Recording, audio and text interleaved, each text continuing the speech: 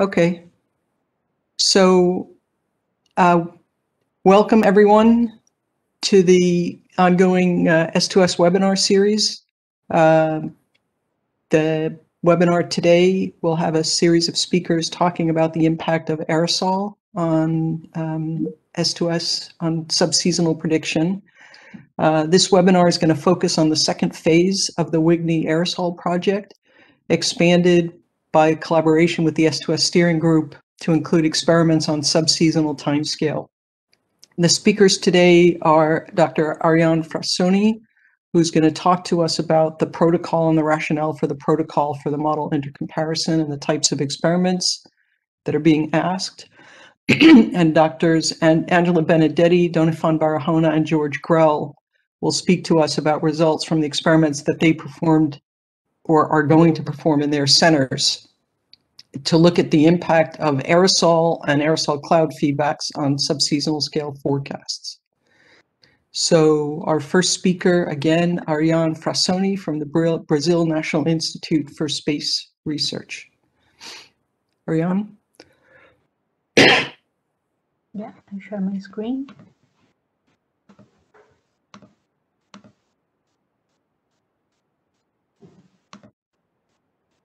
Can you see my screen? Yes. Okay. So good, good uh, afternoon, everyone. Uh, thanks, uh, Andrea, for the introduction and for the invitation to talk about the WGNE Aerosol project. This is a joint uh, collaboration between GAW, uh, WWRP, S2S Steering Group, WCRP, um, and counts with the collaboration with the WGNE members, myself and Francois Engelbrecht, Angela Benedetti and Frederic Vitart as the WWRP S2S members, and the GAW Scientific Advisory Group Modeling Applications, SAGAP, uh, members George Graham, Paul McCarn. So I'm going to talk about the, the WGNE Aerosol project. Um, and firstly, I would like to highlight the importance of aerosols for the climate forcing as a climate forcing, because of the the the aerosols uh, act as uh, uh, they, they scatter or absorb uh, the radiation, incoming solar radiation, and affect directly the planet's energy balance. Aerosols also can play an important role uh, changing the life cycle and the properties of clouds, uh, acting as a cloud condensation nuclei, and uh, also indirectly affect the, the planet uh, energy balance. Uh, aerosols also can play an important role um, changing the temperature profile of the atmosphere uh, by the semi-direct effect, also changing the cloud properties and stabilization of the atmosphere. And uh, this is why aerosols are so important for climate for as a climate forcing. Uh, it's important to know how aerosols can impact the uh, numerical forecasts in different time scales.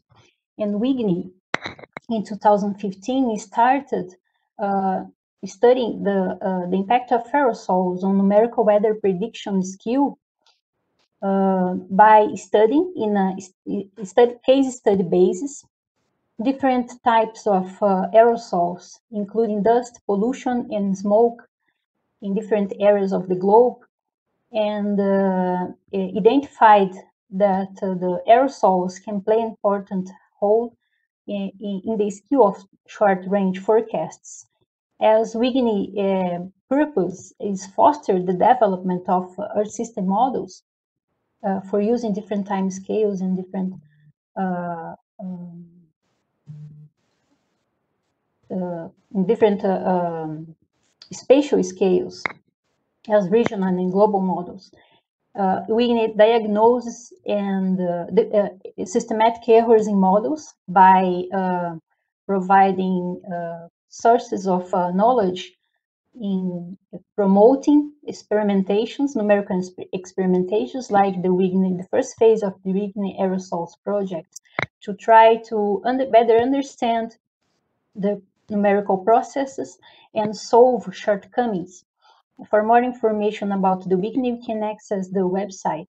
Uh, the, the first phase of the WGNE aerosol project was led by Dr. Saulo Freitas, and the WGNE decided to promote the second phase of the WGNE aerosol project that includes a more systematic uh, study in the short range forecast and also extending the study to uh, longer time scales like the subseasonal time scale.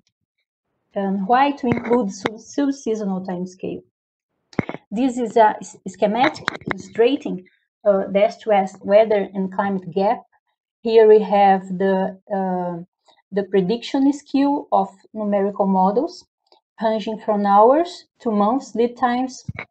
And we can see here in green the weather events that can be predicted like uh, thunderstorms, uh, hurricanes, and other kinds of uh, uh, uh short-lived weather events.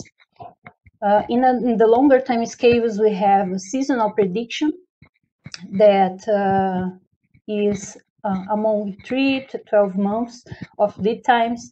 And uh, they, the seasonal prediction is basically influenced by sea surface temperature and in, in recent studies, aerosols are also playing an important role to improve the predictability of the atmosphere in this in this seasonal time scale, like the, the, the work developed by Juliana Frey that is, is hearing us today. And between the weather events uh, predictions that is influenced especially for the initial condition uh, of the uh, as a source of predictability of weather events, we have between the weather and the seasonal the S2S uh, subseasonal uh, time scale. That uh, is an open question that uh, should be better understood and uh, to improve the capability of the models to uh, forecast events like heat, heat wave, storm tracks, severe weather threats uh, that are included in this time scale. So to improve the predictability of the, the atmosphere in this time scale, uh, many studies have been conducted. And one of these is to better understand the aerosols impacts in this uh, time scale. And this is an open window to, to improve the model capabilities, incorporating and integrating the atmospheric composition together with the weather and climate description in the models. And this is, should be provided by a joint project that includes efforts from different communities like uh, uh, uh WCRP, WWRP, and GAW, uh, as WGNE serves for all these communities. Um, all them are represented at WGNE, and uh, this is a collaborative uh, project that will uh, uh, bring for the community uh, knowledge about the impact of aerosols on this time scale. and nowadays, few operational numerical weather prediction centers are capable to fully run and integrated weather climate chemistry numerical models. Um, is, this is true for uh, fully coupled modeling systems uh, that run uh, operational models in longer time scales like S2S. So this is important to understand and to uh, uh, push the, uh, the research for the better representation of numerical models to better uh, uh, to better have have better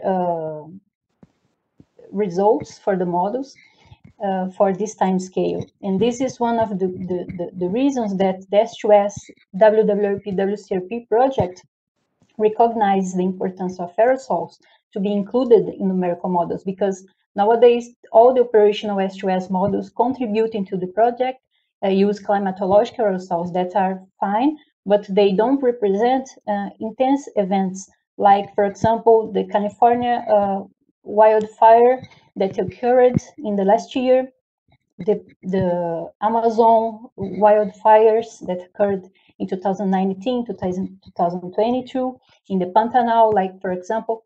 So this kind of intense events has a huge impact in the quality of numerical predictions. So the incorporation of aerosols on S2S models is an, an opportunity to improve the, mod, the skill of the models and contribute to better, uh, better products for the end users with um, better quality, not only for uh, numerical uh, predictions of the, the meteorological variables, but also to bring to the, the end users uh, information about the quality of the air quality forecasts and aerosol forecasts. So the goals of the WGNE aerosol projects include the identification and quantification of the importance of aerosols for the predictability of the atmosphere in the short, medium range, and the subseasonal timescales. The identification and quantification of the predictability of aerosols themselves, especially in the subseasonal timescale, uh, for the applications in different areas like the uh, health impacts associated with the impact of air pollution in the, the health of the populations identifying the complexity of aerosols, uh, the aerosols models needed to provide the skillful uh, meteorological aerosol forecasts, and what's the complexity needed to represent aerosols in the models. And with these contests, it, uh, we should uh, update the knowledge about the current capability of the modeling centers, because modeling centers work in their in their own state of the art and what's the state of the art of the current uh, uh, modeling groups, what they can uh, develop and how they can uh, improve their model capabilities to better represent impact of aerosols in different uh, time scales. And such goals uh, of the project achieve the key scientific questions raised in the couple chemistry meteorology models for numerical weather prediction, air quality and climate uh, symposium that uh, was held in Geneva in 2015 uh, and led by WMO that uh, raised several uh, key scientific questions uh, that includes the how the the, the, the, the, integration of meteorology and chemistry in numerical models can improve the capability of numerical modeling systems. And how important is the feedbacks between the aerosols in meteorology for the, the quality of the, the, the meteorological systems, the numerical systems, and many other uh, uh, key scientific questions should be answered in the WGNE aerosol project. Moving for the details of the protocol, the protocol uh, is aimed to, uh, in the that, there is two components. One of the components, the regional component that includes the short range forecasts that I'm not going to speak today, but uh, uh, you can find more information on the WGNE website. And uh, we are talking about here about the S2S reforecast experiments that uh, includes the analysis of the experiments in a global, uh, uh, global scale and uh, experiments uh, include the analysis of different aerosol events to be analyzed. The main the main impact to be analyzed analyzed is the direct effect of aerosols, but the indirect effect effect is one of the op optional uh, experiments that centers are invited to contribute if possible. So the aerosols events to be analyzed include dust, biomass burning smoke, and as an additional experiment is pollution in Asia. Uh, also, uh, modeling centers are invited to contribute to these three uh, uh aerosol events. But uh, the dust and biomass burning are the two main experiments that should be provided for modeling centers.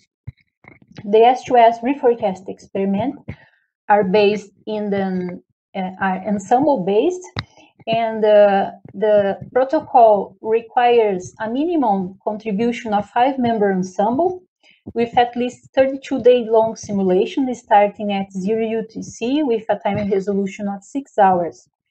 The experiments will include, uh, it, for each experiment, or each uh, aerosol type analyzed, uh, the experiment should include the climatological aerosols and another experiment including prognostic aerosols. In the case of biomass burning smoke, uh, it should be included the experiment that, descri that prescribes observational emissions. Uh, models uh, capabilities uh, should be uh, decided uh, in modeling centers. So the, the system should be initialized by their own analysis reanalysis. The modeling center should be the best uh, uh, version that model can can deliver that modeling group can deliver. Uh, and this is why the this this this project is based in the capabilities of each modeling center. Uh, For the true three the three experiments, dust, biomass burning, and pollution in Asia, the starting dates uh, should should should be three different uh, dates, but because of computing uh, limitations, modeling centers uh, are invited to contribute, for example, for dust in the first day of May, for biomass burning in the first day of September, and pollution in Asia for the first day of January. And the hindcasts include the period of 2003 to 2019.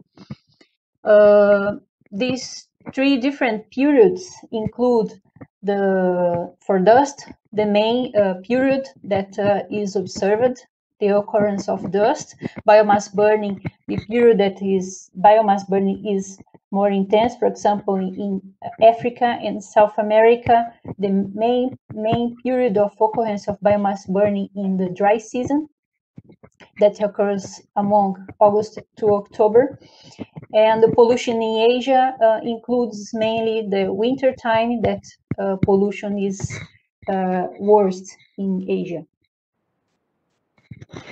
Uh, the storage data will be archived at CPTEC, that is kindly supporting us uh, with uh, uh storage. The format required is GRIB-U, preferable, but we are receiving uh, model data in NetCDF too.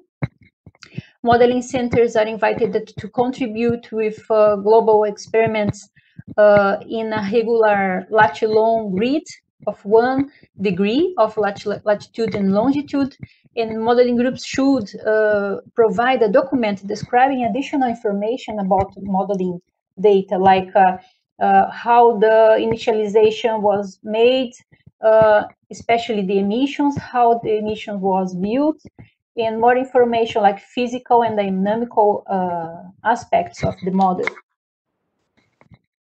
The protocol has a um, forecast verification component that is a contribution from the joint working group on forecast verification research, especially to uh, access the, the skill of the air quality forecasts, uh, providing advices on how to, what's the best metrics to analyze uh, uh aerosols and air quality uh, forecasts. And the basic statistics is that one that is commonly used for uh, access ensemble uh, predictions, like bias of the ensemble mean, correlation between ensemble mean and anomalies, uh, mean squared error skill score, standard deviation, and scorecards uh, is a is a very interesting tool that can be used in the analysis of the results. The reference database should include uh, global uh, data set like CAMS or MERRA from NASA, and also Aeronet uh, database for aerosol properties. And weather variable, variables should be assessed using synoptic, synoptic uh, network data and ERA5 reanalysis. Modeling center should provide uh, uh, the delivery of the, the data sets up to August to, to uh, this year, but uh, because of the pandemic and because of the many issues uh, around the, the, the, construction of the S2S uh, data sets, uh, modeling centers possibly will delay the delivery. So uh, the, the, the deadline is not a problem. If you have uh, any problem with this deadline, please contact us. That should be uh, understandable, the, the delay of delivery of data. Uh, the procedure adopted to deliver the, the, the data to uh, CPTEC server should be provided personally, so please contact me in order to receive information on how to upload model data.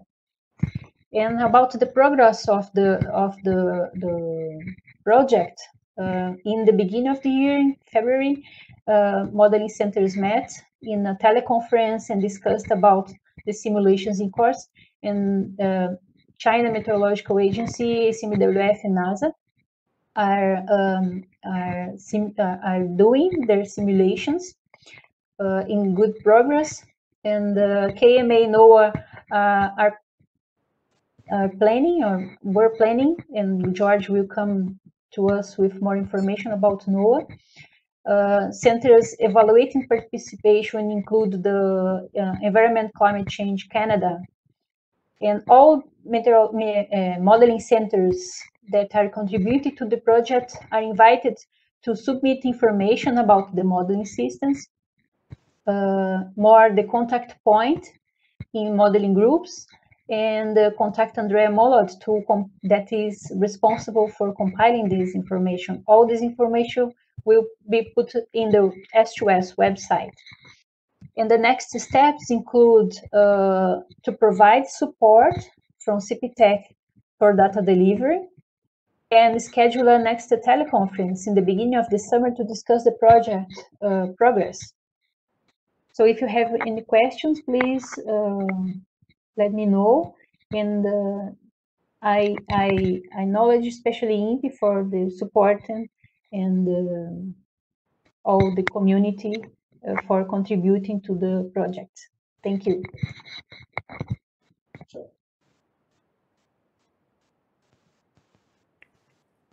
Thank you very much, Ariane. Um, your talk puts, I think, the rest of the talks in a little context, letting us know a little bit about the background, the motivation, and the protocol for the experiments. Um, are there any questions right now for Ariane? If not, you can type them in the chat.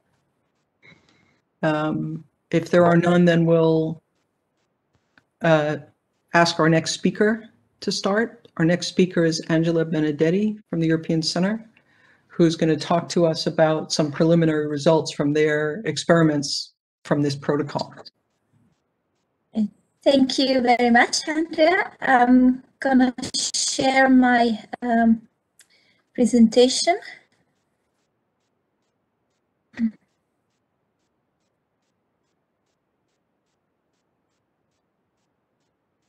Can you see it? Yep. Presenter mode would be great. Uh, beautiful. Right. I just did it. Hopefully yep. it's appearing. Okay, great. Uh, so um, thanks for the introduction. Thanks to Ariane also for uh, putting uh, this into context. Um, this is work that I've done together with uh, Frédéric Vitart, um, uh, ECMWF. So let me just go straight in. Um, the development of the atmospheric composition in the ECMWF model, which is the integrated forecast system, has been actually going on for a number of years, since the late 1990s. It started with having stratospheric ozone, but then through a series of um, projects called GEMS-MAC, and now comes the Copernicus Atmosphere Monitor System, a monitoring system, um, this, the model has been developed further. So now um, it, it, moved from like having only stratospheric ozone to having a couple chemistry, complex chemistry mo uh, model. And now this uh, uh, chemistry model being fully integrated in IFS. Uh, and also the aerosol model that was developed in the um, starting from 2004 onward, it's uh, um, completely included in the IFS, as well as uh, reactive gases, uh, sorry, greenhouse gases like uh, CO2 and methane. Um, throughout the years, there have, there have been also some um, like improvements that have sort of fed back into the NWP configuration uh, I have to remind you that this uh, uh, complex, you know, chemistry and aerosol um, system is not run at the full resolution, but it's run in a configuration which is um, at a lower resolution with respect to the NWP configuration. However, in the NWP configuration, the climatologies for CO2, uh, methane, and ozone do come from the uh, CAMS system, um, and uh, also the aerosol climatology is largely based on the CAMS interim reanalysis. Um, in the CAMS configuration, which is run um, like uh, operationally uh, under the Copernicus service, um, they have prognostic interactive aerosols and ozone. In the NWP con configuration, uh, climatologies are used at the moment. So uh, a few years back, I think it was 2016, uh, Frederick and I started, you know, like exploring um, what happens when um, at the S2S scales when we activate fully prognostic aerosols interacting with the radiation. Um, so we created these uh, experiments um, that um, I'm you know describing here. I'm going to show you some uh, a couple of results from these old experiments now. Um, we included only the aerosol direct effects, and this is still the configuration that we're running at the moment because we're not we don't have the capability to include also aerosol indirect effects at the moment. We use uh, observed emissions for biomass burning plus all inventories that are you know um, included in the uh, in the uh, CAM system. Uh, the ensemble size is 11 members uh, at uh, T255, which is about a resolution of about 60 kilometers, 91 levels for this initial experiments with a, a, cycle which is now old. It's cycle 43R1. That's the model version that was uh, used in these experiments. We used uh, five different start dates around uh, May 1st um, with for 55 cases in total. And at the time we ran six months simulations. Um, the reforecasts were from 2003 to 2015, and the results are summarized in Benedetti and Vitart. Um, we ran four experiments, a control with a very old climatology, so derived from Tegen um, and co-authors, 1997, um, a second control run uh, uh, using the uh, Bozzo um, and climatology, which is uh, um, which is currently used operationally at ECMWF. So this is the operational climatology. And then two prognostic runs with the interactive aerosol, one initialized from the CAMS interim reanalysis and one initialized from a free running aerosol simulation to understand the impact of the initial conditions.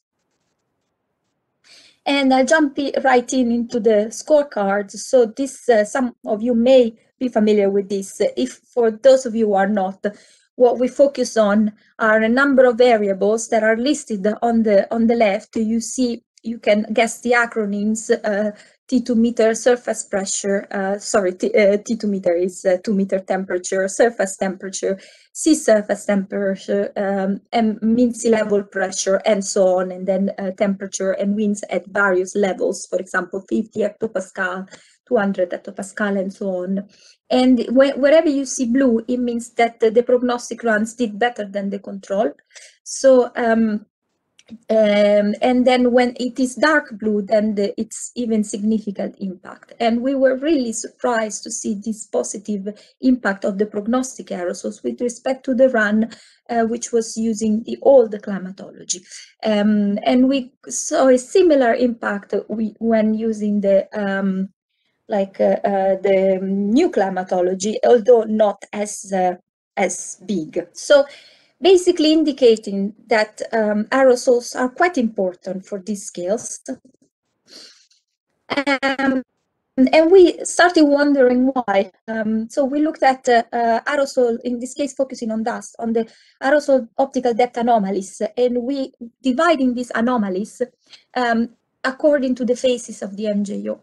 And uh, on one column, you see the results from the simulations, uh, PROG1, the prognostic uh, run with the um, um, interactive aerosols initialized from the CAMS interim.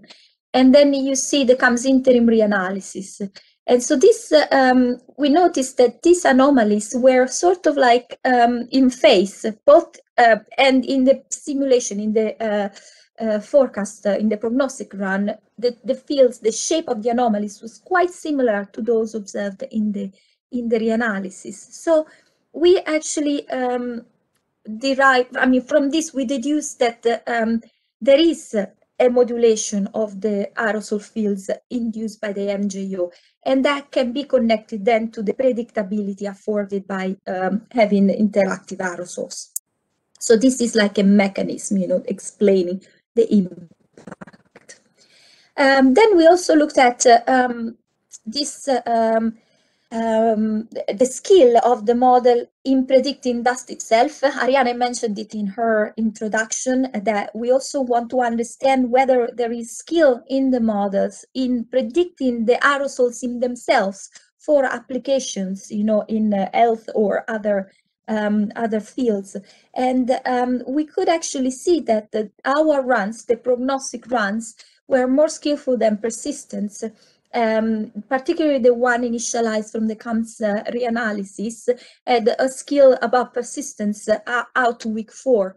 So indicating that uh, um, it is possible to have some skill in predicting, for example, dust aerosols a month ahead. Then we looked at some uh, extreme events in the in our period. Um, there was 2015, which was like um, a, extreme event uh, for Indonesia. And uh, we, um, if you look at the fire radiative power average over August and October 2015, with respect to um, on the left, you see these huge, you know, like red areas basically covering the whole of Indonesia. Um, and we could actually see that in our forecast, the temperature anomaly uh, were indicating a similar pattern uh, due, um, connected to the cooling due to the smoke aerosols, and we could see it uh, up to six months ahead. Of course, we could do that because we had the prescribed observed fire emissions. So this is not really a forecast, it is a, a reforecast. So we, we were able to prescribe those emissions. However, this events have some predictability connected to El Nino and also to our agriculture practices in the area. Mm, so, you know, we know that uh, this is uh, um, like a recurring. Um, sorry, I just got uh, to get the door. Uh, thank you. Thanks a lot. Sorry, I got like a delivery in the middle of a seminar. so of working from home. Um, but um, we're able to um, to uh, see this, as I, as I said, because uh, we have uh, prescribed observed emissions, but we need to be, you know, to be able to perform this type of, uh, you know, uh, things, um, we need a predictive fire dynamical model, and we have been trying to work on it for the last few years. Coming to the S2S coordinated experiments, so the setup is quite similar to the experiments that I just talked to you about, um, except that now we are running with the uh, more re most recent uh, cycle version, model version, which is 47R1. Um, and that has 137 levels. Still, we're using the same horizontal resolution, um, T255. And uh, we adopted a similar approach, having like, you know, five start dates around May 1st and September 1st for to increase the number of cases, so the statistical um, significance. And we are running only one month simulation. So this is really the S2S, the monthly run um, uh, setup, you know, that it's, um, the resolution is different, but other, other than that, everything is the same with respect to the operational S2S runs and the, the period of the reforecasts is extended to 2019. So again, the control now uses the climatology from Bozzo and Kotors, which is, as I mentioned, operational. Prognostic one is uh, a run initialized from the CAMS analysis. and then we did another one to understand the impact of the initial conditions um, um, using uh, interactive aerosols initialized from a fixed year, and we picked 2010. So for the May start date, this is the CRPSS, which um, indicates a sort of mean absolute error for, for uh, probabilistic forecasts. And uh, we actually have, uh, this is control minus uh, prognostic, so we have actually a skill degradation in our experiments with interactive aerosols, and that's connected to aerosols. So on one hand, it's not going in the hope direction, but it is making our point then that defining aerosols is extremely important for these uh, uh, scales um, because you see like the, the skill in this case the reduction in skill is definitely connected connected to the aerosol you can see the signal uh, when we look at the September 1st start date, actually it's the opposite. It is, um, in this case, it's uh, um, red is good. Um, so um, you, you see that it's um, the, the skill of the experiment with the interactive aerosol is uh, higher and it's uh, connected again with aerosol. So you can see that actually the big uh, bullseyes there are um, in uh, um, over like the Amazon basin, which and and uh, Central and West Africa, and that's definitely connected to biomass burning. We don't see very much signal uh, over Indonesia in this global plot. However, if um, oh, sorry, I'll come to that actually because I looked again at the Indonesian fires. Uh, but first, uh, I want to show you something that was just like shown uh, last week at ECMWF. This is um, the impacts in the medium range uh, from a comparison between the CAMS that, as I mentioned, has interactive aerosol in their uh, daily forecast, and uh, the HRES run, which uses the climatology. And this is um, for a very long period, the comparison. It's um, uh, from March 2020 to February 2021. So it doesn't specifically focus on the biomass burning period.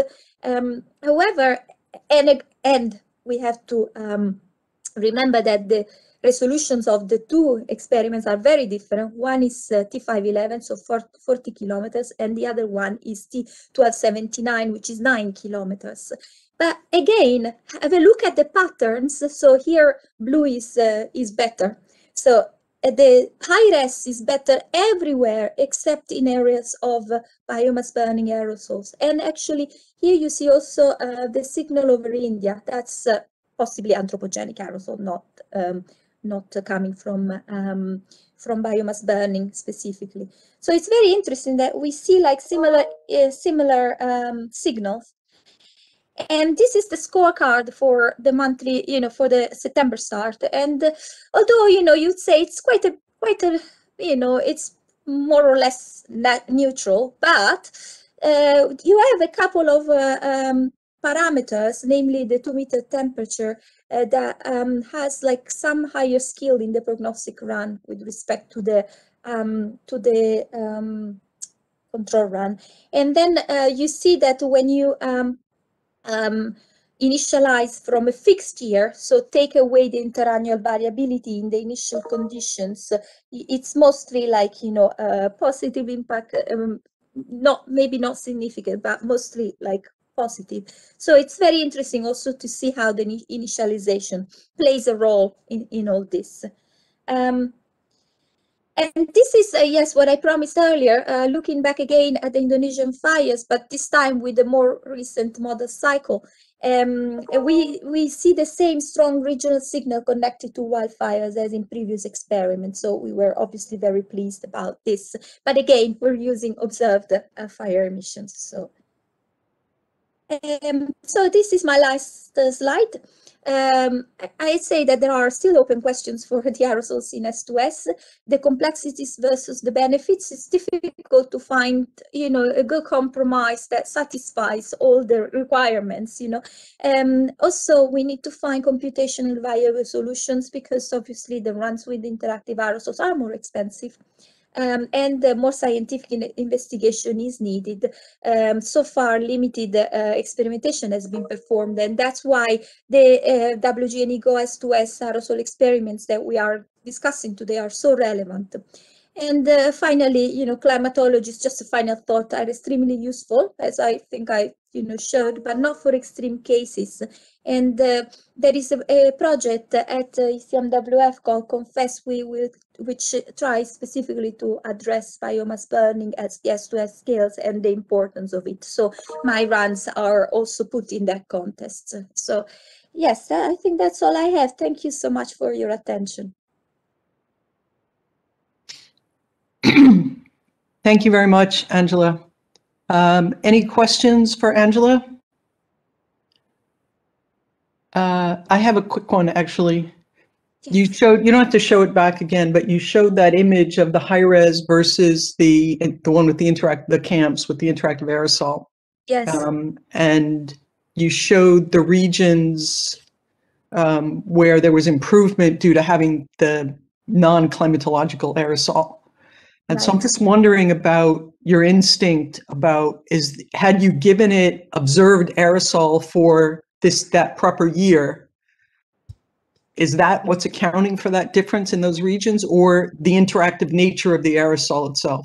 I think it's in the interactive nature of the aerosols themselves. Um, because uh, it's uh, um, the run with the climatology still has, you know, some resemblance of, you know, biomass burning in those regions. Uh, but uh, for the current year, obviously they were not perhaps as accurate, you know. Um, so I think it makes the case for uh, having prognostic interactive aerosols, you know, also at the high resolution. But there is still quite a bit of, you know, convincing to do and perhaps uh, more uh, aimed uh, experimentation. That is, for example, you have to compare apples with apples. So definitely have to do it at the same resolution to see that if you still see like the same type of signal. Um, so yeah, I don't know if that answers your question, Andrea, but yeah, that's, Yep. I think it really comes from, you know, the aerosols being more realistic for that year. Okay. Um, I see something in the chat. Uh, yes, um, yes, it's considering, um, yes, I think this is something that we should um, explore, I think. You know, um, it will become uh, more computationally affordable, both because of the increase in the supercomputer power, but also with the use of single precision. Yes, that's not, hasn't been ex explored. So I really think that that's something that in the future possibly will allow, you know, the affordability of the interactive aerosols, at least in the S2S, which will still remain at a slightly small um, coarser resolution than the high res. So it will not go to, you know, five kilometers like what's uh, expected for the high. So yeah, that's definitely an exciting, you know, possibility. Thanks. If there's nothing else, um, we'll move on to our next speaker, Donifan Barahona from NASA GMAO, who's going to talk about the results of some preliminary results from some of the protocol experiments that, that we've been running. Can you share your screen, Donifan?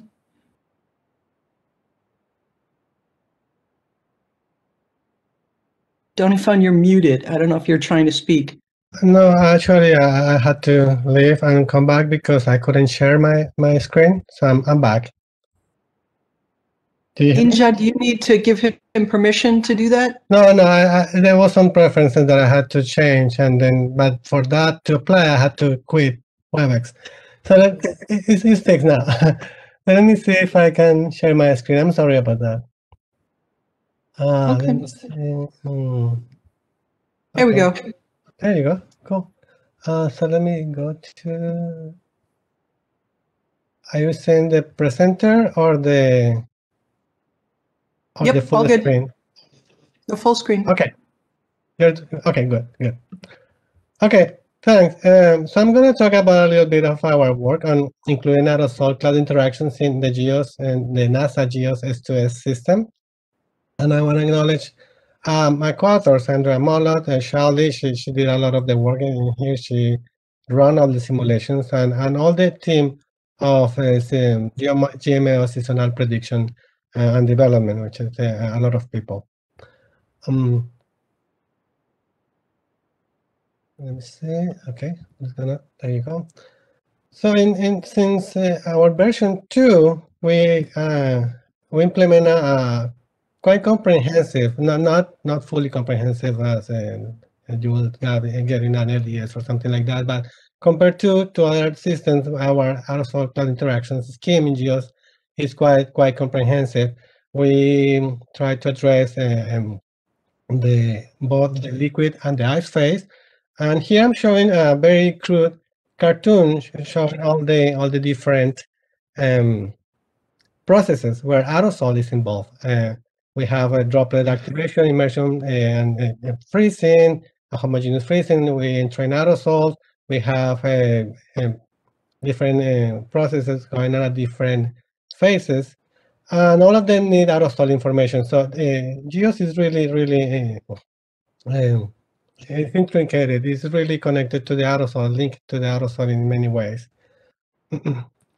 So essentially, but we we simplify this a little bit. What we need, what the aerosol scheme and the two-moment microphysics that we run uh, do is try to predict for the clouds at least the number concentration of ice uh, crystals and droplets in the clouds, as well as the partitioning and the uh, well, there is a special variable that we call that that you, we use to to decide what is the supersaturation prevalent in, in, in cirrus formation.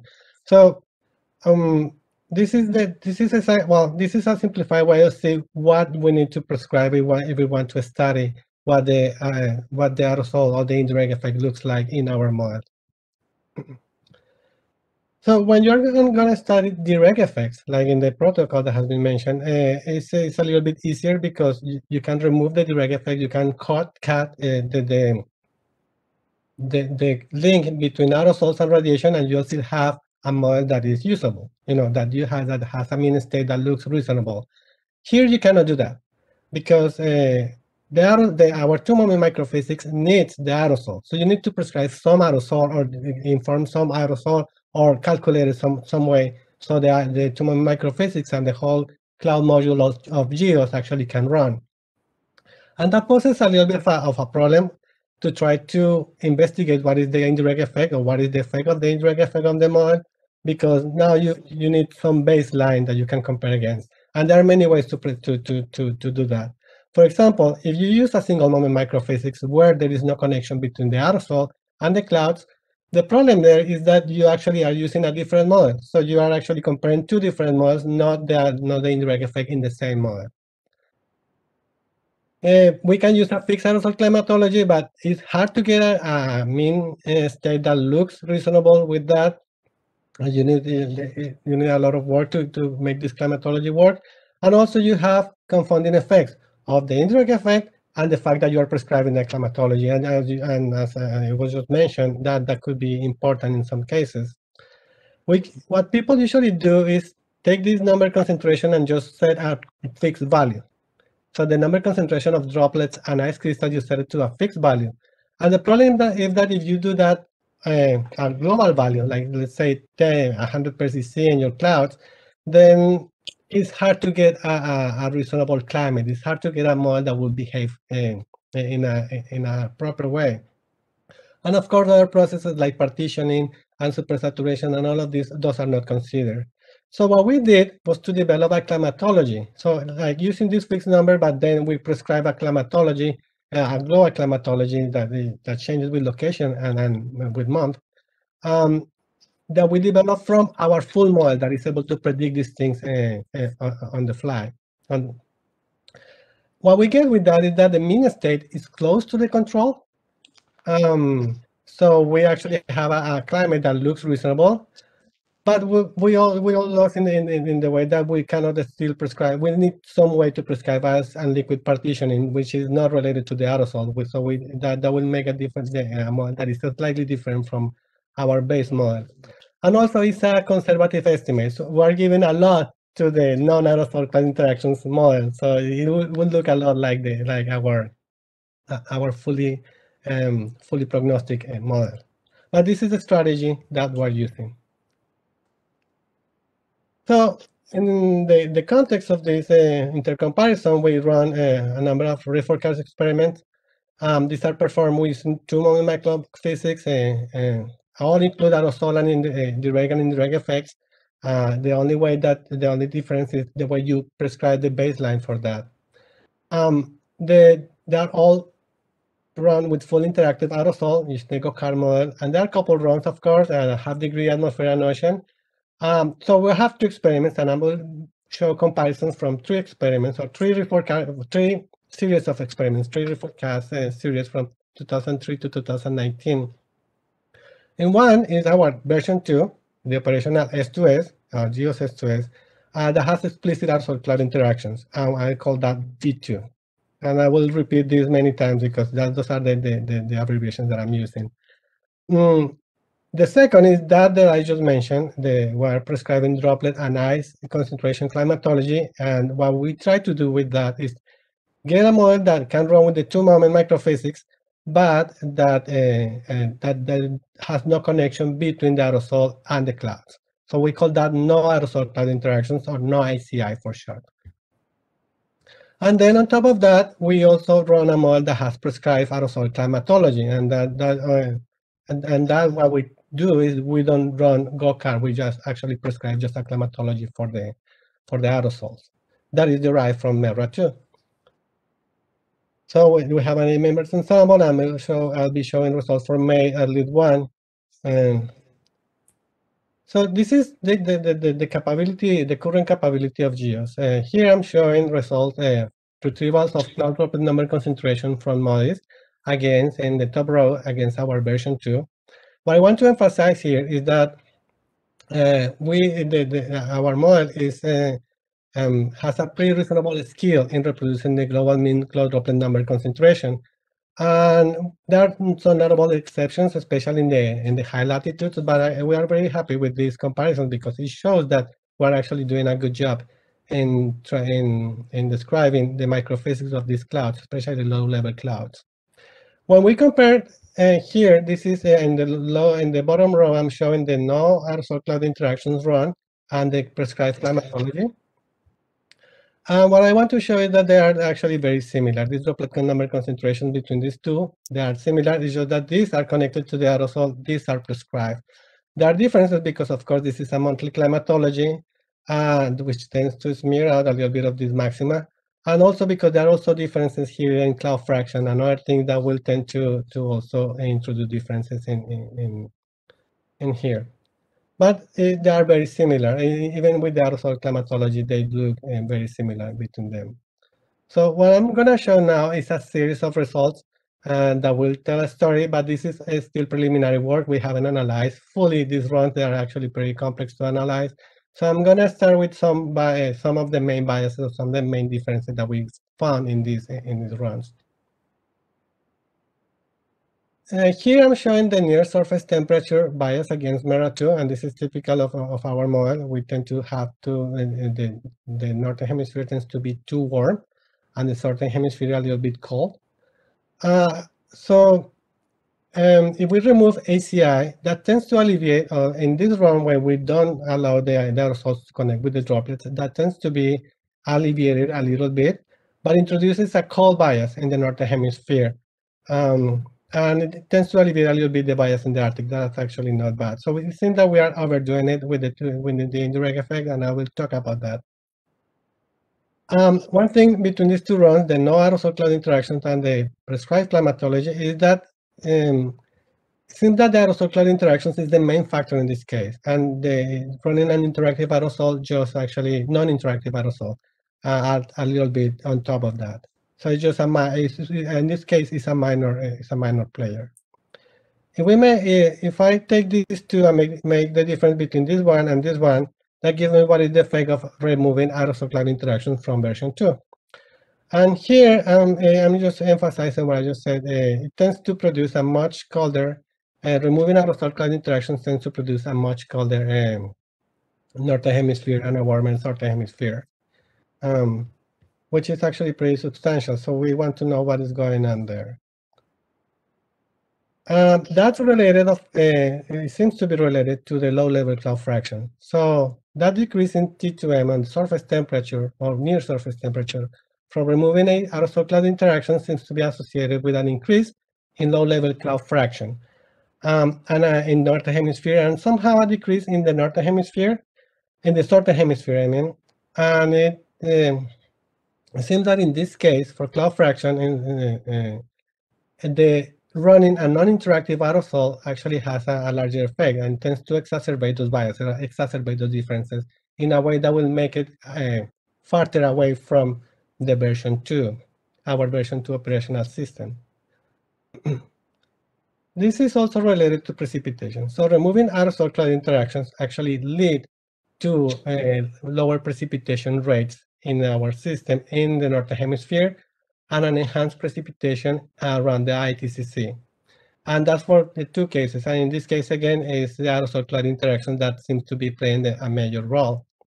If we look at the typical bias of our system, and this is from the, the, the S2S or GEOS S2S description paper, um, that enhance of a bias will actually uh, be uh, will enhance or that that increase in in precipitation in the ITCZ will it, uh, actually act uh, to exacerbate or to make the bias worse in our in our system. So uh, if you turn that, that around, that means that adding aerosol cloud interactions is actually good for the version two because it, it tends to minimize that bias. Also, it may be not as good in the northern hemisphere, although that's still not, not clear that this will actually remove that bias completely. Looking at more variable, this is the aerosol optical depth, and this is an important one because it seems to explain, uh, well, try to uh, advance an explanation of what is going on here. So again, this is the bias of version 2 against MERRA 2, which is our uh, uh, simulated aerosol. And this is the difference between the no aerosol cloud interactions and version 2. So what I'm showing here is that removing aerosol cloud interactions from GEOS S2S will result in an increased AOD in the northern hemisphere and lower AOD aerosol optical depth over the African continent and in the southern hemisphere. Mm, if you put that on top of this, then although the effect is not, is still small compared to the bias, uh, adding aerosol cloud interaction actually uh, um, helps to minimize or to uh, um, reduce the bias between the version 2 and our simulated aerosol. So that means that adding aerosol cloud interactions actually help in, in producing a better aerosol uh, optical depth.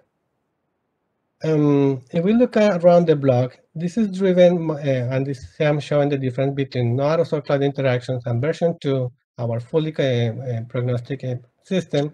And for dust, organics, uh, sulfate and sea salt. and this is probably, this is a total extinction, and the aerosol optical depth is probably not the best term to use here. But it, what I'm showing here is that it these these differences tend to get are um, driven by sulfates and dust, and especially sulfates in the northern hemisphere. But that gives, an, uh, uh, uh, that give us uh, some idea of what may be happening. So to, to understand this and to explain this, we have proposed what we call the aerosol activation scavenging feedback. And essentially it works like this. If you have some aerosol, eventually that aerosol is gonna activate and produce some droplets, and that will set some droplet concentration in the cloud. Eventually, that cloud is going to rain and scavenge that aerosol, right? Over time, um, reduced aerosol concentration will lead to reduced activation, and then a, cloud that will be, because you have less, fewer droplets, then those droplets will be bigger if the, if the liquid water content is about the same, and that will increase the precipitation and enhance scavenging. Over time, this uh, cycle will tend to deplete both aerosol and cloud. So in our no aerosol cloud in, uh, interactions and scenario, what we did was essentially sever this, this, this connection. So that means that there is no longer a connection between the aerosol and the droplets, which is probably what you will get in a system that doesn't have aerosol cloud interactions explicitly. And that means that over time, these scavenging rates are not going to be enhanced like in this case. You always have the same scavenging rates. Um, and that tends to lead to aerosol and cloud accumulation. That, that's what you get, at least that's what we hypothesize. That's what you get the, the, the, the enhanced uh, AOD. And also that, that will explain why you have a high, and we end up with a higher cloud fraction when we remove aerosol cloud interactions and a reduced T2M and reduce precipitation rates because uh, you have actually uh, more droplets that you are supposed to on the long run.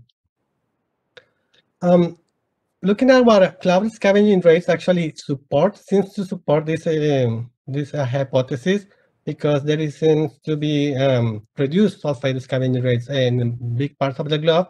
I thought it's not a smoking gun because you also have enhanced scavenging rates, but that's also because when you have more aerosol, you also have more uh, a higher scavenging rate, but that's because you actually accumulated the aerosol in the first place. So we need to do a little bit more analysis to understand this better.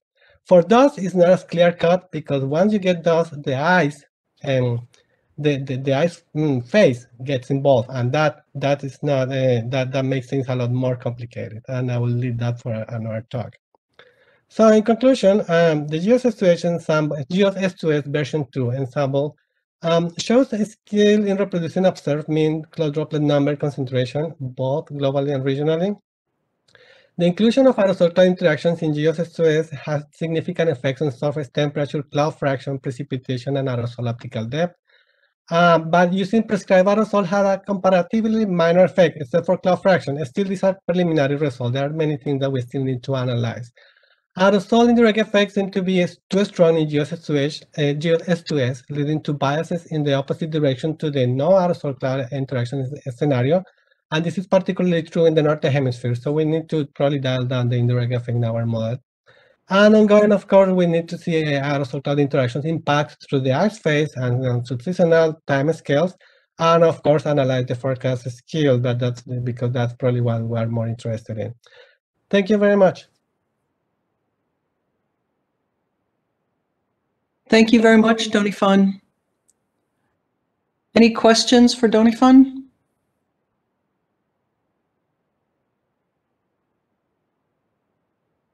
You can type them in the, in the chat, of course, as, as the webinar continues. Okay. If we have nothing for, no questions from the audience for Donifan, then uh, let's proceed to our last speaker. Uh, George Grell from NOAA's uh, Global System Division. Um, George, can you share your screen? Just waiting there for a while. All right, Beautiful. I'll talk a little bit about aerosol impacts on regional and subseasonal forecasting, what we're planning on doing for the WGNE experiments, and also um, our motivation behind it. Um, there's a lot of people involved here. Shan Sun is doing most of the S2S work with folks uh, Jordan Schnell some of the regional work, also with WRF-Chem. And then there's uh, various developers and evaluation folks, also a new dust emissions module from ARL that we're using. So too many people to put all on this slide. So why do we want to participate in this WGNE experiment? For one, we have a large interest in operational forecasting. Uh, the RAP-HRRR smoke here on the left side is a storm scale hourly update cycle modeling system. This actually went into operations in December, uh, and it does include aerosol interaction with respect to radiative feedback. And that is an NWP model, is not uh, atmospheric composition model. Uh, and I'll tell you just a little bit about that. And then there's GEFS aerosol, that's the lower, uh, lower left here which is a new uh, global aerosol model from EMC, was implemented in September. Uh, that does not include the feedback yet operationally. Uh, aerosols in both models are based on WRF-Chem, pretty much a chem driver. HRRR smoke, uh, high resolution rapid refresh is what that stands for, by the way, includes biomass burning and plume rise, wet and dry deposition, but it only has two aerosol variables because we were only allowed to increase the total computational time by 2%. Uh, the two aerosol variables are already required by the Thompson microphysics, double moment microphysics scheme. So the 2% pretty much comes from emissions and the additional smoke tracer array that we uh, that they wanted to see. The GEFS aerosol uses the GOCART bulk aerosol modules uh, but WRF-Chem plume rise, wet and dry deposition, and then the Fengsha dust scheme, which comes from ARL. So we would like to gain understanding what level of complexity is needed to represent the positive effects of atmospheric composition on weather forecasting on different scales. Positive effects mean we want to see an improvement in the weather prediction. And to go back to uh, the WGNE one experiment, Ariana mentioned that already. This is where we started to get into this whole stuff uh, because we saw significant impacts when using complex physics chemistry with WRF-Chem. Meaning we're talking about uh, modal to sectional aerosols and double moment microphysics schemes. We tried two different ones actually at the time. And we tried running it all the way down to cloud resolving simulations, 1.7 kilometers. Uh, just to show you an example of systematic and random shortwave differences we've seen during that. Uh, there's a bunch of random changes that are just caused by different location of clouds. Not interesting at this point. And then there's some other ones that may be interesting. You can see some uh, possible uh, areas here that are uh, more reddish and more bluish. Um, but uh, the main focus for us at the time was on, on the runs, on, on the differences that we saw at every single run. The cooling over the main fire areas, then in a kind of a borderline region between very low AOD and higher AOD, uh, usually more shortwave radiations coming down, and it's the same over the uh, Pacific here, uh, over the cold water there. And notice this is at 0 Z and this is at 12 Z. And you saw the same thing for the cloud resolving simulations, although for the cloud resolving simulations, at this point, we could only do one run at that particular time uh, because it got expensive. And I lost the two people that were working on this. One left, and then another one took over, and then that other person left too. So, and then before we started doing this again, it kind of started smelling a little. When stuff gets too old, the mold makes it smell. So, uh, which is one other plot here I'd like to show how, how much complexity can you lose. This is an example of doing a run with the convective parameterization with and without, without aerosol awareness. Uh, direct effect only, it shows the cooling as expected. And uh, for some reason, we actually did get the, a warning up there uh, when we turned the aerosol awareness on. Now, meanwhile, we have changed a lot on the convection scheme.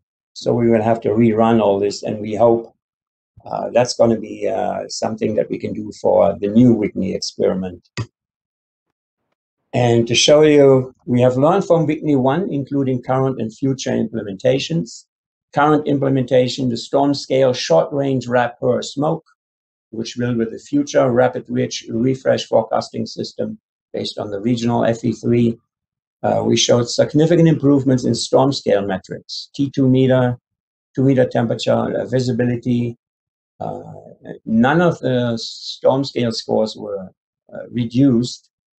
Um, and this was with an extremely simple two variable approach that doesn't cost much money.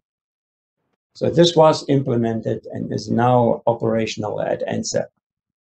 And we are working on the medium range forecasting with FV3 GFS. Again, this is with the GOCART bulk aerosol impacts on radiation. And we already, this is starting in December 2020 till now. And we have about a two point improvement for the Northern Hemisphere, a three point improvement for the Southern Hemisphere.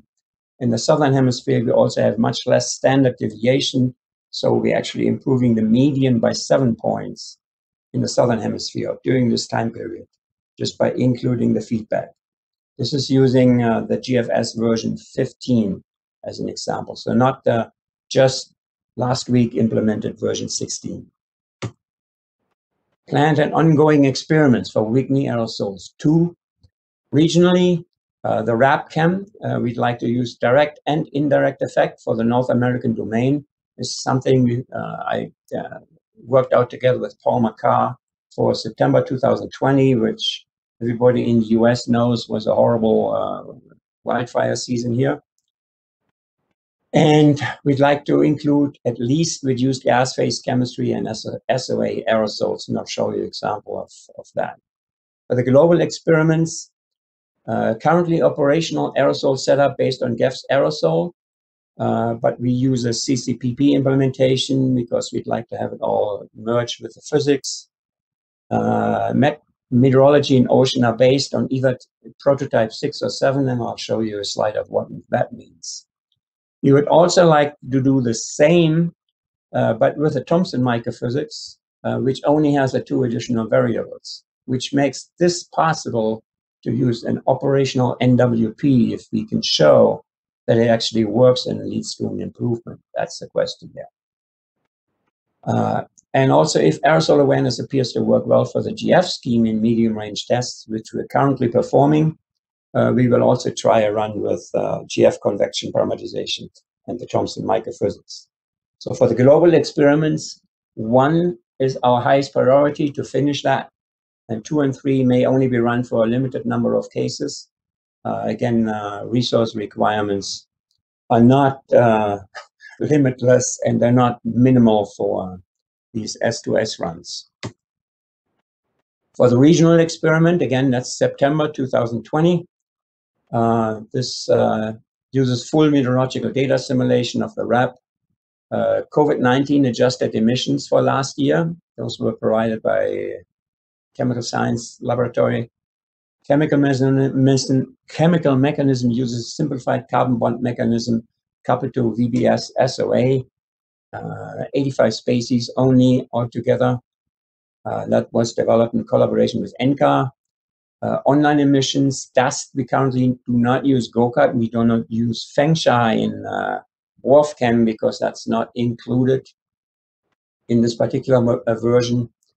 Um, chemical vertical mixing is all in line uh, with the physics. And for physics, we use the MYNN EDMF approach, as well as GF convective parameterization. Photolysis and radiation do include aerosol direct effects. And for the microphysics, we want to use the Thompson aerosol aware scheme. We actually promised to do that for the wildfire project anyway. So this is kind of convenient for us to use September 2020 for this anyway.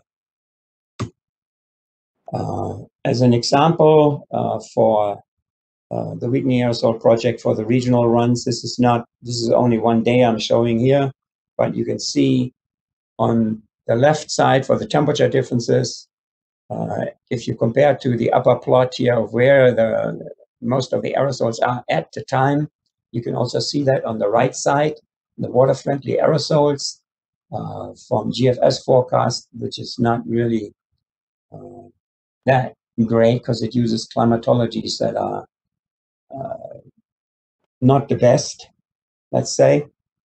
Uh, the wa water-friendly aerosols from the RAP CAM simulated aerosol distribution is shown on the lower right. This is initial conditions. And then the averaged daytime two meter temperature and boundary layer height differences are showing here. You can see the cooling and the lower boundary layer heights in the areas with a heavy smoke. Interestingly, you also see quite an area of slight warming. This is less than 0.3 degrees, but still. Uh, and also uh, a higher boundary layer height in this area. So planned and ongoing experiments for the WGNE Aerosol 2. We just gotten ready to get the model ready to do this. Um, what we're still missing currently, and we're still working on that, is biomass burning FRP data for the periods proposed in the experiment. Uh, we can also, we can only compare to runs with AOD climatologies that exist at NCEP, uh, but at least they will be changed to a new analysis based on MERRA2. And I think that has been done already. So we can compare to that, which is probably a lot fairer comparison than uh, comparing to the original uh, NCEP uh, analysis. When comparing to observations, we would like to be able to compare to our own climatology to see whether there really is an improvement because you really want to see the variability on top of the climatology. Uh, so the coupled modeling setup, horizontal resolution is 25 kilometers, dynamic course FV3, We're using the GOCART modules and Fengsha dust and the plume rise, also on 25 kilometers, of course, it's all inline. Ocean and sea ice, MOM 6 and CICE6 at a quarter degree. Initial conditions come from CFSR or CPC. Uh, for the aerosols, we have to do a spin-up run. Um, okay, for the GFS version 16 physics, that includes the SAS convection, the GFDL microphysics, RTMG radiation, Noah LSM, and the new TKE EDMF PBL scheme that Jongil Han developed. Uh, the GSL physics we'd like to test too. Uh, that is currently used in HRRR includes, of course, MYNN EDMF uh, GF convection, and Thompson microphysics. And we would like to do 35 days of integration and a minimum of two experiments, a free run starting from the cycling run, and then, of course, a free run uh, with aerosol radiation feedback. And uh, just uh, do we trust our capabilities to forecast aerosols?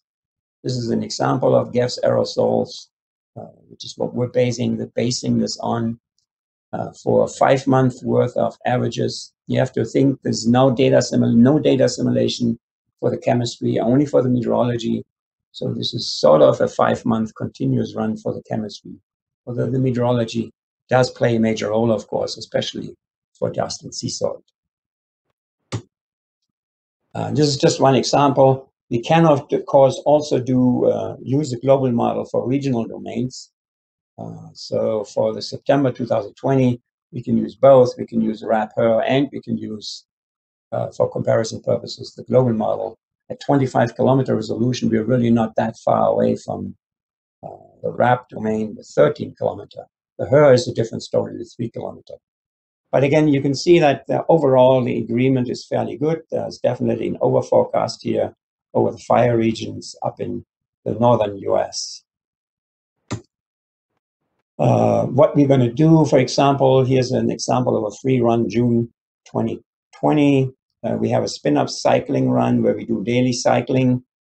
Uh, start with a cold start May 1st, have GFS initial conditions uh, aerosols uh, with climatology and with daily cycling, we bring it up to June 1st when we start the warm free run. Uh, we have, we're planning on five ensembles.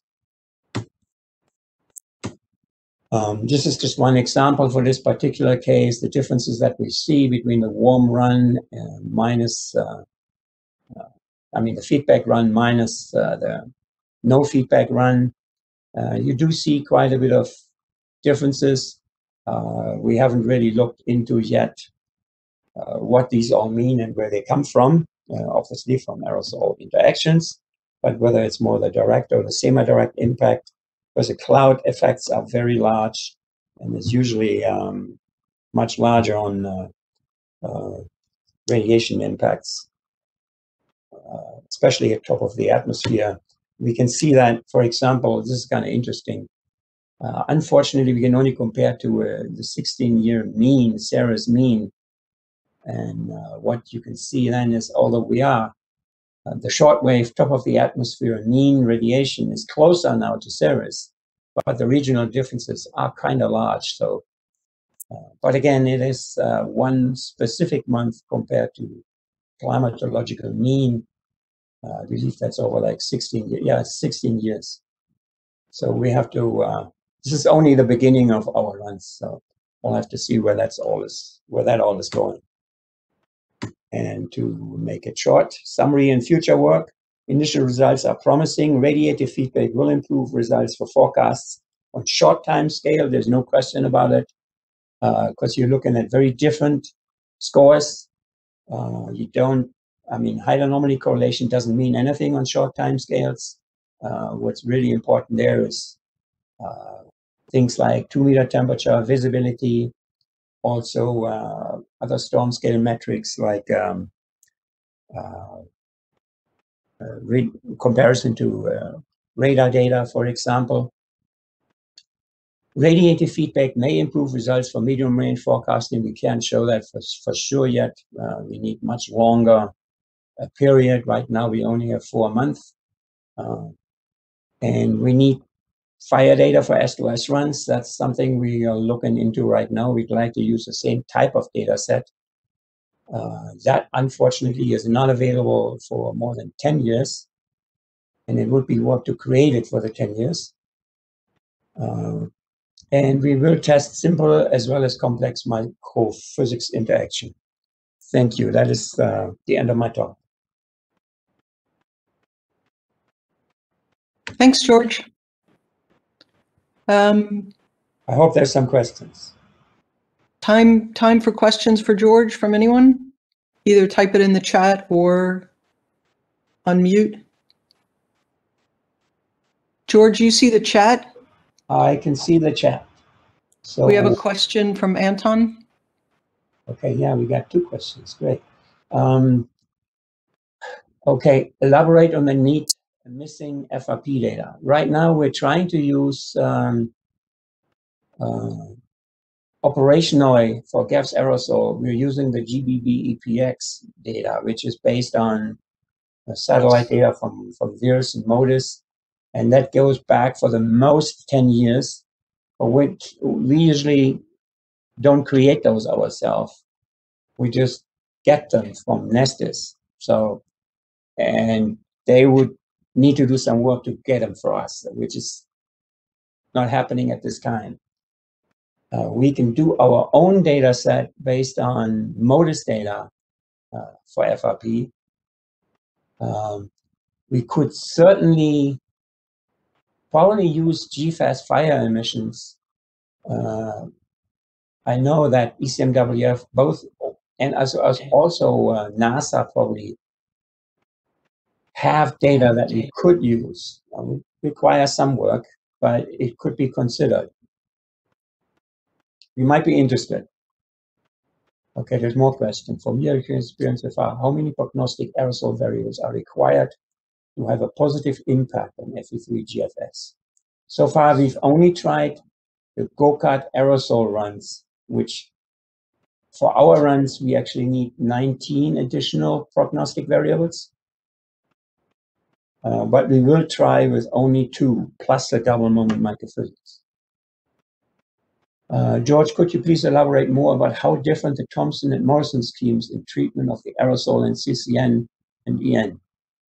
That's a really good question. Um, that's a very uh, very much more complex in a Morrison scheme, uh, at least the way we used it, because it's based on WRF-Chem work. And that is based on implementations from uh, DOE folks. Uh, it's much more realistic, in my opinion, the Morrison approach, but it does require a lot more variables and is a lot more complex. Um, not sure whether that is good enough for you if not, you might want to talk about this uh, on the side or after the fact. Operational rapport reporter paper is available for further reading, is being in the works, I believe. Uh, Ravan Ahmadov is uh, writing up the smoke paper and the aerosol paper. Uh, you could probably get an initial, initial draft if you're interested.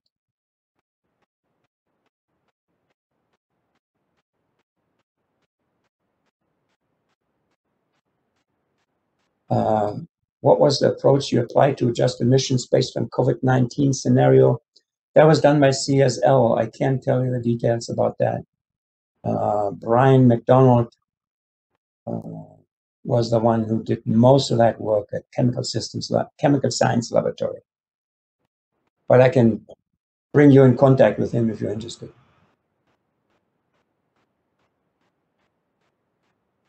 Great, there was a lot of questions. Yeah.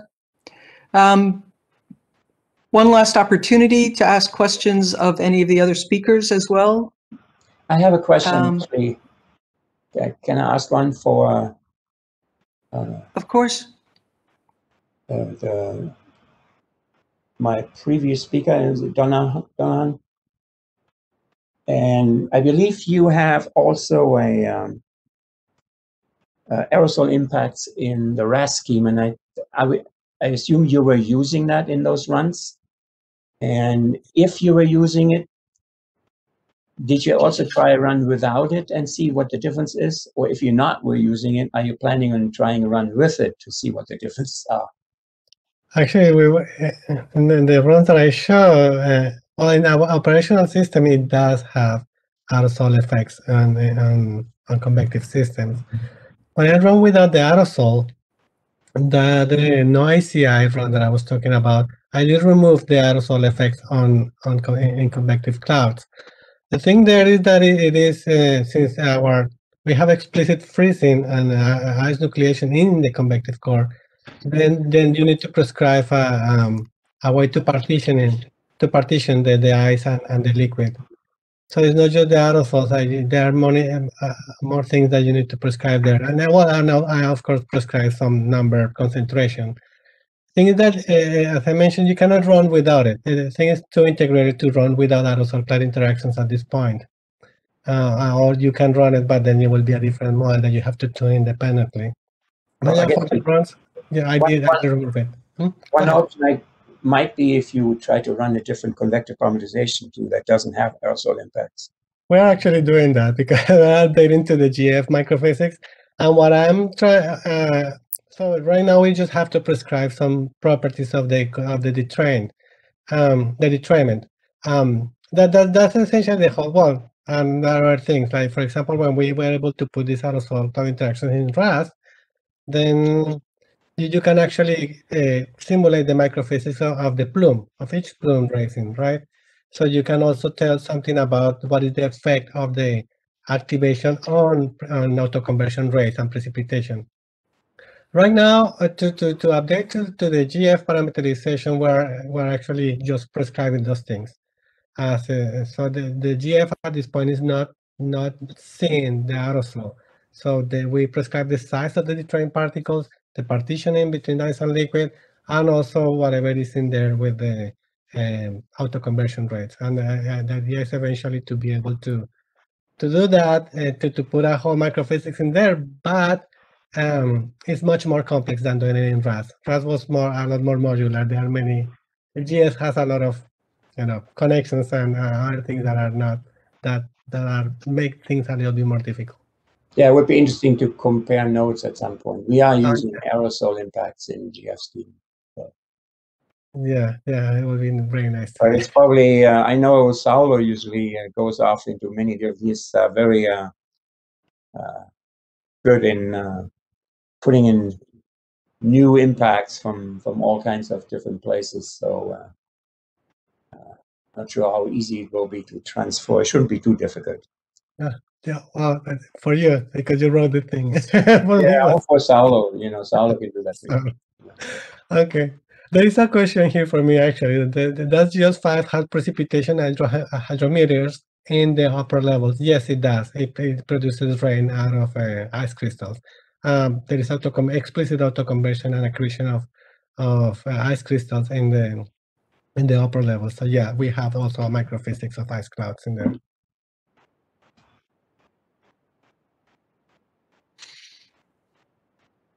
Okay, Andrea, just a quick, uh, just add a quick uh, information on the uh, regional experiment that George explained in the wildfires in California in 20, uh, September 2020. Uh, ECMWF is also involved in Johannes Flemming is analyzing the, the event as well.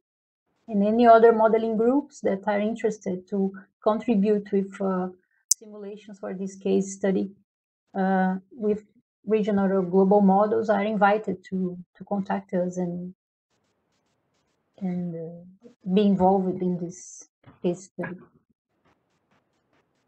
that's great. Thanks, Ariane. Okay, um, let's thank our speakers one last time. Um, it would be great if each of you could send us the slides from your talk so we could either post them on the on the website or just have them for for reference for folks. Okay. Um, so thanks, everyone. Um, I'm not sure what the date of the next webinar is, but I'm sure folks will be hearing about it. Okay, Can I, can I quickly answer to this last question?